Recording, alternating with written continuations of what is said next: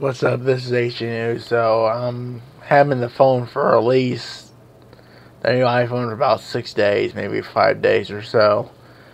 I'm taking this as a review because the iPhone 8 it's worth I guess money. It's working fine. Besides having a little bit of trouble with 4K footage, trying to upload, and it's working pretty good. The battery's lasting. Everything's fine like it was. I do have benchmarks on the app that I will bring up and say the iPhone 8 is a iOS 12.4.1, so it's around, it's close to, it's like 2.39 gigs, so it's one of those Bionic, uh, A11 Bionic chips from Apple. It's got close to 2 gigs of memory so the AP the API is metal, which is usual for Apple products. So it's ARM, it's fast. So it's a lot quicker than the phone I had in the past. And that it's expensive, but you know it's going to last. So that was Geekbench 4. That was I downloaded that for like a dollar. Had money in there, so I just spent money like 99 cents. They actually get it, and then took a while to test it, but it was good. Normal, it's got that black kind of finish on it, you know, that space gray. It's got 4K support, but technically I, I'm not seeing it on YouTube while testing in private video on my account where it doesn't show until I know it's technically working very well and that I can upload it to you guys and you can see it in 4K. There might be only one.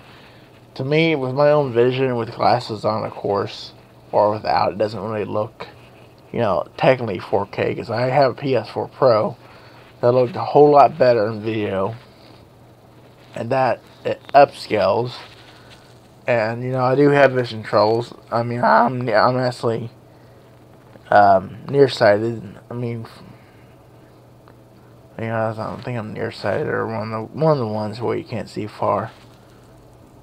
Nearsighted that's that's the one I, I got. Yeah, I got bad vision.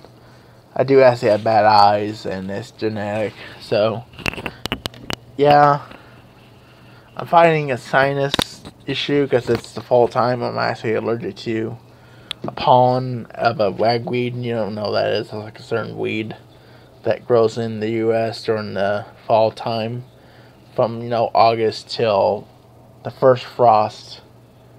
And technically, I gotta stay away from cantaloupe, watermelon, cucumbers, and pickles. Because pickles are made from cucumbers, basically. The pickled, and then they put salt and flavoring, and they compress them in a way in a pressure cooker that does the work to get all that fluid in there. And technically, I can't have none of that until the you know winter time because it's I had reactions to it before with the allergies with my body, and even if I don't have it, I'm staying away from it. And I've been staying away from cheese, dairy, pizza because it's been causing me issues with my drainage with the lungs, and that they haven't been filled because of that reason. They had not really gotten inflamed with that phlegm because I've been avoiding those foods because of um, allergy to that too, to milk, that I might be more sensitive to where I get mucus production overloaded amount in my lungs. It starts in the throat, you know, the nose, and it goes straight down, and then, you know, I have trouble breathing, so I haven't had to use a lot of inhalers I was gagging a couple days ago. I kept using cough drops, you know, every so often, you know, when I needed it, basically. Make sure I went gag, but, you know, there was times where I had to go to the bathroom and spell and get out. So, yeah, it, it's like that seasonal for me. My body's been fighting it by having, I've been having to blow it out a lot with my nose, so it's actually working. My body's at least trying to fight this. Um, overload of, you know, from the the weed out there that's basically what I'm allergic to.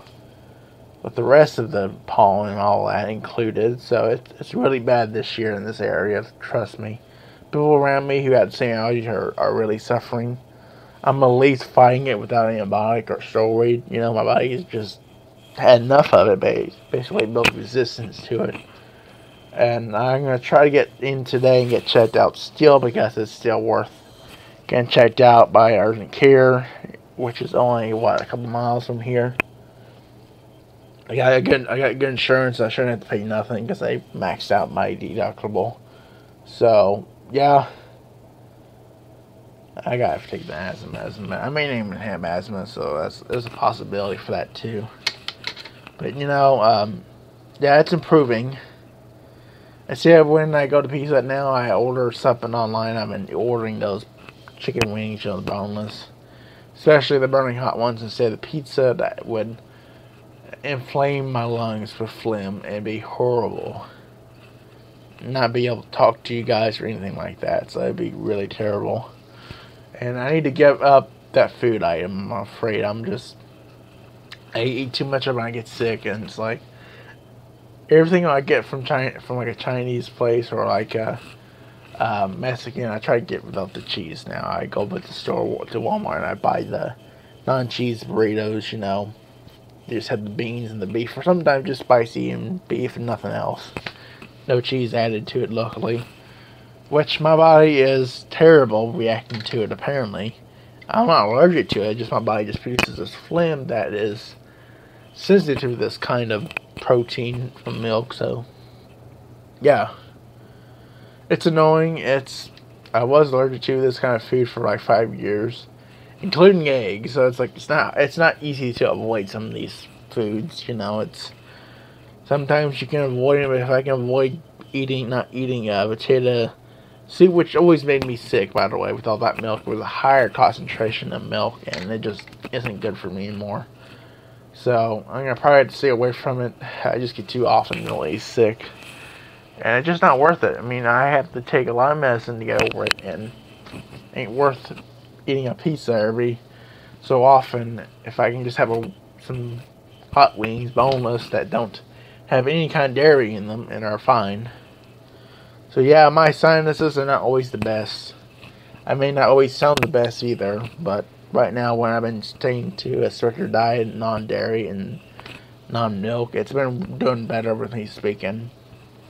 Compared to my usual self, who I would eat a lot of cheese products, it's like I just need to cut off, cut that out of my diet, and I did. So I'm watching no dairy, nothing like that. So bread's still fine. It just as long as I don't get that high concentration of dairy, I'm good.